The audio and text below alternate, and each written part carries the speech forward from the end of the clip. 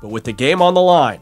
legend Bobby Slick Leonard sank the biggest foul shot in IU basketball history with 27 seconds left on the clock to give IU the 69 68 victory.